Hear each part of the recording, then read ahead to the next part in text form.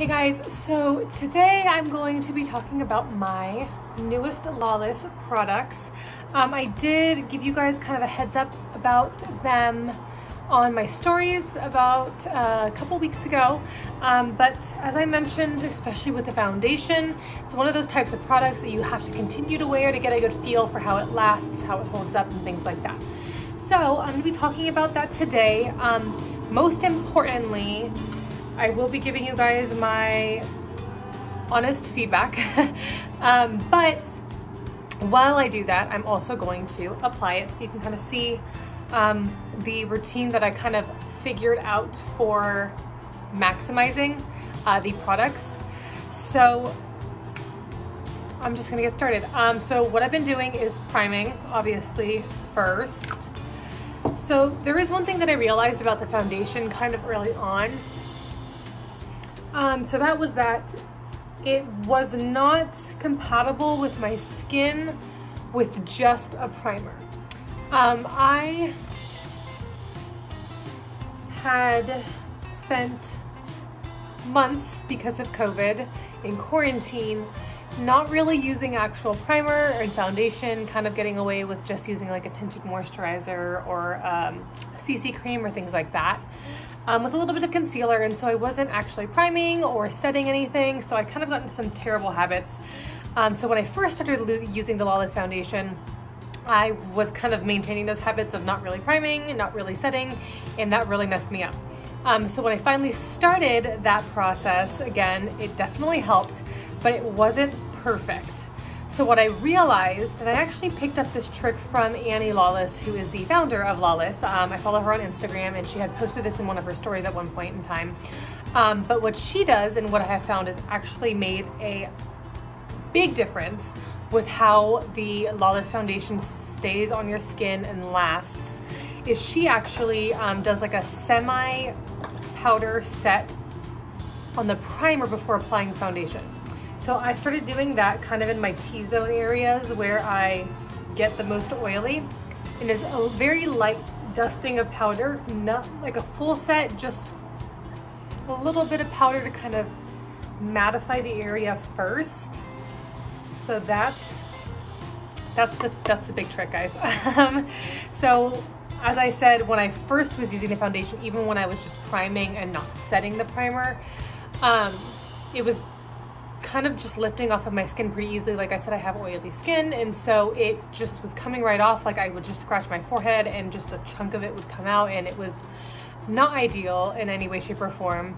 Um, but I did find that following Annie's tip of setting the primer makes a world of difference uh, with the foundation, how it lasts, how it stays. Now, when I do this, um, where I set the primer, the foundation not only lasts throughout the day, but it stays matte um, for at least eight hours so far. I've seen it stay matte for about 10 hours on my face. Um, but that's still a, very long time. um, so yeah, I'm super excited about that. But I do feel that I shouldn't have to do the extra set um, for the primer um, to kind of get the foundation to last on my face. I have plenty of other foundations that obviously don't need that extra step and do last longer, but given that this is a clean product, so it's obviously better for your skin and better for you in general, um, I feel like it's worth it. And I do love it after it's been set as a, as a foundation. It's actually pretty freaking amazing. Um, so what I do is I actually put uh, two pumps after I shake it onto a flat brush and just kind of go in with it. So that's what I'm gonna do.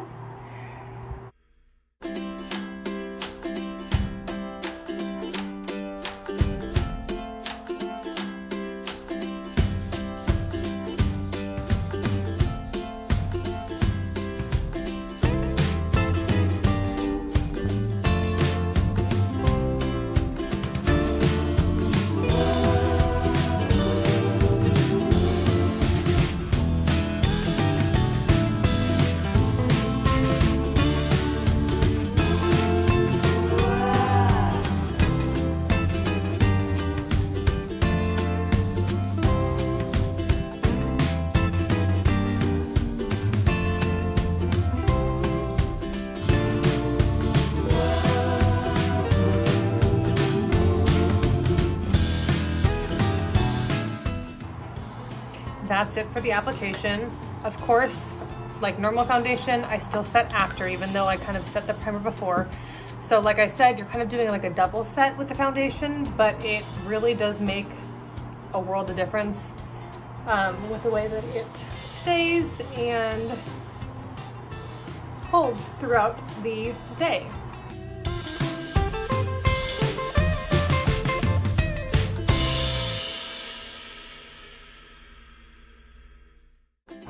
Before I get to the blush, which was my other Lawless product, I'm just gonna do a quick contour on my face and then we'll get going.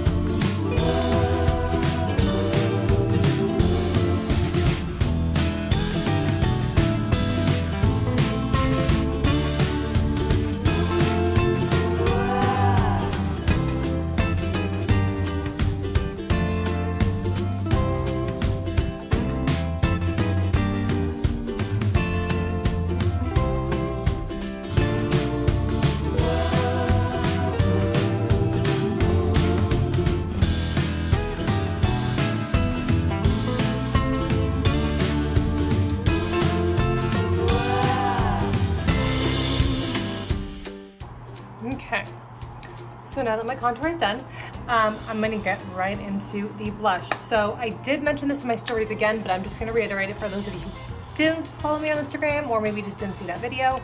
Um, the blush has a ton of um, hydrating ingredients in them. One of them is squalane, which I'm super excited about. I love that in skincare. Um, but there's tons, tons and tons of hydrating benefits to this blush. Not only is it hydrating, but it feels creamy. So whether you're swatching it or actually putting it on your skin, like it has a very, very creamy finish. And on top of that, it's extremely pigmented. So a little goes a long way. Um, so what I have found with this is I my brush it twice, tapped for the excess, and then kind of start on the inner part of my cheekbone and then work my way out. Um, like I said, it does kind of, it is pigmented. um, so it, like I said, a little goes a long way. That two, um, I think you would call that two dips into it um, is more than enough for that one cheek. And then, um, of course, do the same on the other side. The other thing that I've been enjoying doing, and again, picked this up from Annie, so the owner of the makeup brand, um, is kind of dusting a teeny bit over the nose to kind of give you a little bit of like that kind of sun-kissed nose look. Um, and I also like to dab into it and then do a little on my eyes. So just kind of give a tint of color to my eyes as well. Um, this has kind of just been my go-to look um, every day really for my work from home look just because it's simple but it gives a little bit of extra oomph, you know, to my face. Um, but I did want to reiterate again that I am obsessed with the blush. I actually just ordered two more of the colors because I'm really excited about it. Right now it is the only blush that I want to use. Um, so that says a lot because I probably have about 40 different blushes um, from different companies, brands, colors, everything, and it's still my favorite.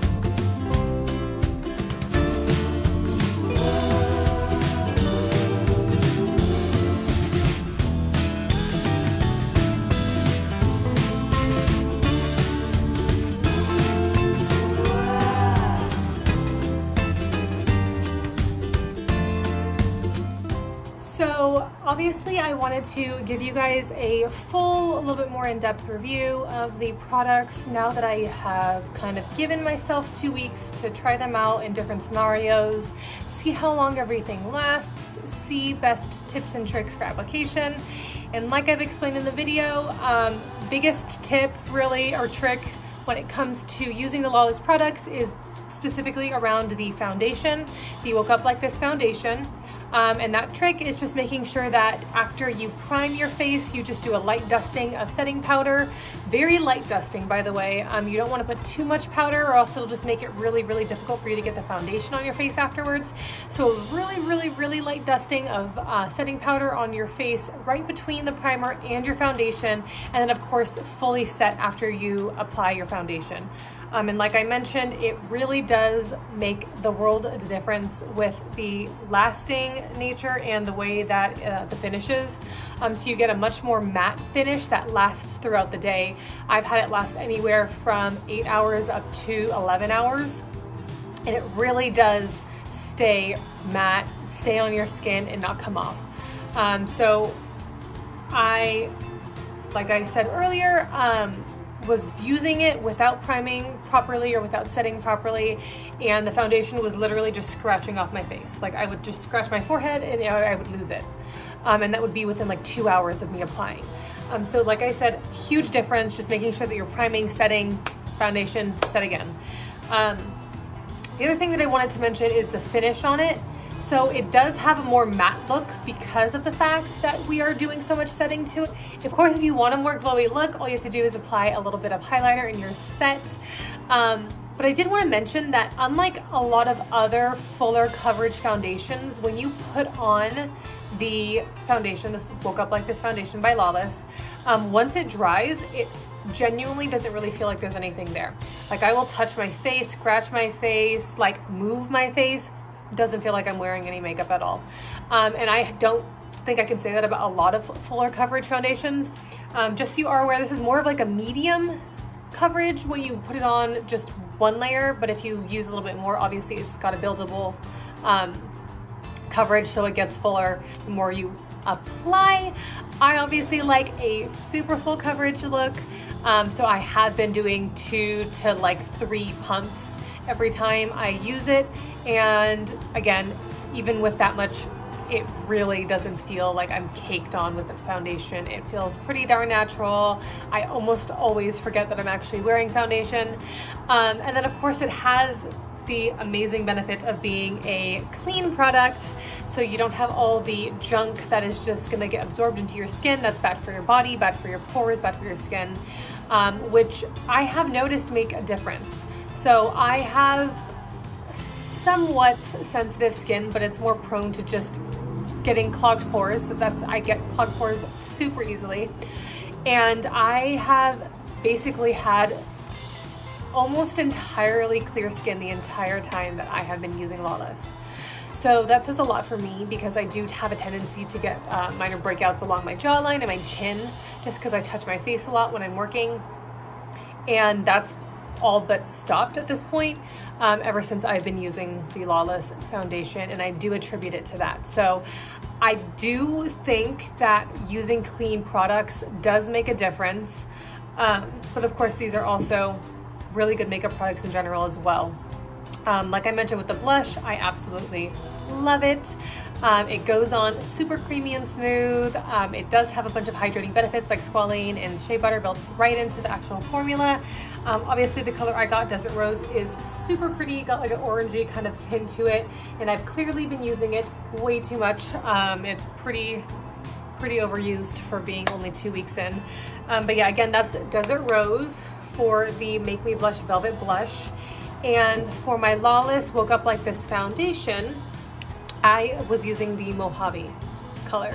Um, for those of you that were interested, um, I did pick the color online um, so I wasn't, you know, in store figuring it out. I did pick a warmer tone that has more of like a yellow undertone just because that's the way that I kind of tan.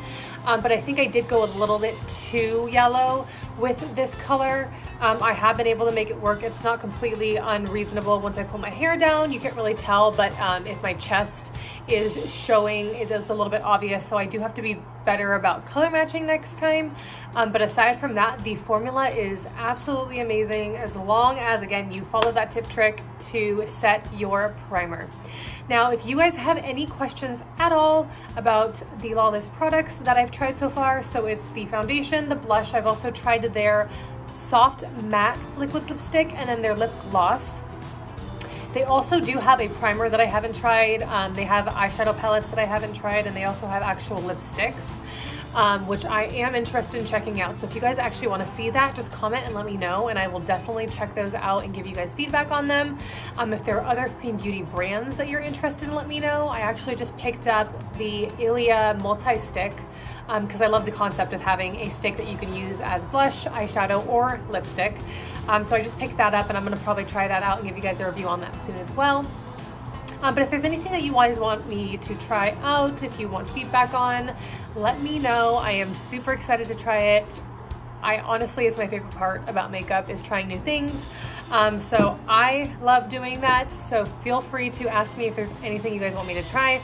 Um, and then the other thing that I wanted to, um, I guess, reinforce is the fact that anytime I do any product reviews here, they're 100% entirely honest reviews.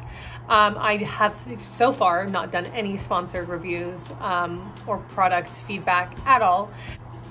So I just want you to know that everything is 100% my true opinion. But if there is a point in time where that does happen and I do have uh, sponsored products or complimentary products that I am reviewing, I will let you guys know, but just also know that I, again, am still gonna be entirely true to myself. I'm not gonna lie to you guys. I wanna give you a very, very, very honest opinion, give you the true feedback um, because I don't want you all making decisions um, based off of false reviews. Like, that's just not there. Um, so just keep that in mind. I'm always going to be telling you guys the truth, always giving you my opinion. Keep that in mind though, it is my opinion, how it goes with my skin and what I like, so it may not always work for you guys, um, but I will do my best to kind of explain why I like things or why I don't so that you have a better idea of whether or not you will or won't. Um, so yeah, I just wanted to reinforce that, kind of let you guys know of that again, and then as I mentioned, if there's anything at all that you are interested in me trying or you have questions about, comment below, DM me, let me know. I am super excited and willing to try out anything for you guys, answer any questions. So yeah, just let me know and I hope you all have a great week. And I do have a new look coming out for you soon that I'm really excited about, so stay tuned. Thanks.